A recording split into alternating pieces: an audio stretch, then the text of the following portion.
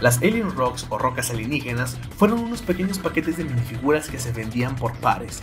En cada empaque podíamos ver las ilustraciones del artista Andrew Robinson. Algunas de ellas son imágenes perdidas en internet, como las del abuelo Max o Crab. Cada caja tenía en su interior dos esferas de un material efervescente, simulando un par de rocas alienígenas, las cuales al ponerlas en agua se disolverían mostrando en su interior a cada una de las minifiguras que mostraba el paquete.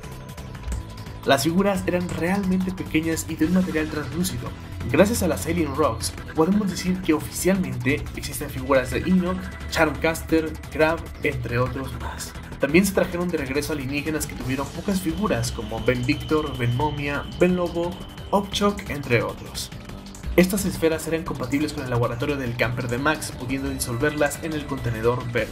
Estas Alien Rocks no deben ser confundidas con sus primas las Planetary Powder, que aunque son